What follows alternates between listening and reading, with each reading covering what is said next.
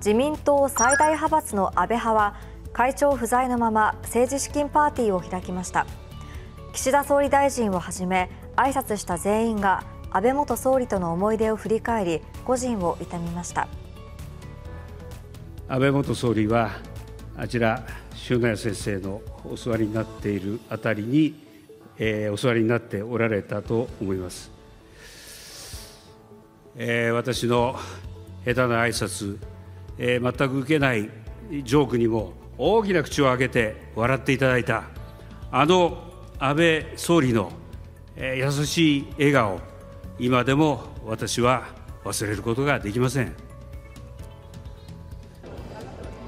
安倍派は安倍元総理大臣の死去後後任の会長を置かずに執行部による集団指導体制をとっています。世耕参議院幹事長は100人の団結のために我が身のことを投げ打ってでもしっかりと貢献していく決意であると述べ次期会長に意欲を示しました。ただ派閥の中からは衆議院と参議院では責任の重さが違うなどとして世耕氏の会長就任に慎重な意見も多く若手などを中心に萩生田政調会長を推す声も出ています。